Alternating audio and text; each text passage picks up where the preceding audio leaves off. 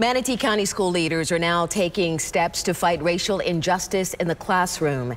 ABC Action News reporter Lauren Mazzella shows us the new policy changes that they're considering. The school board is now considering having educators complete a minimum of four hours of implicit bias training in the upcoming school year. This is a type of diversity training that can help lessen racial disparities in a school district. It allows teachers to better understand their own reactions towards students and the effect these biases can have on them.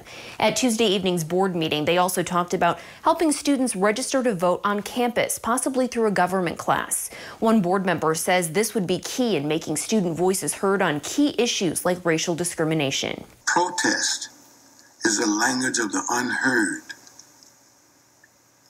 And right now, we have an opportunity to gather the attention of young people and put it where, in a proper way, where it should be. The school board also worked on drafting a statement about how they'll address racial inequality in the school district moving forward. They'll be talking more about these potential policy changes at a workshop on Thursday.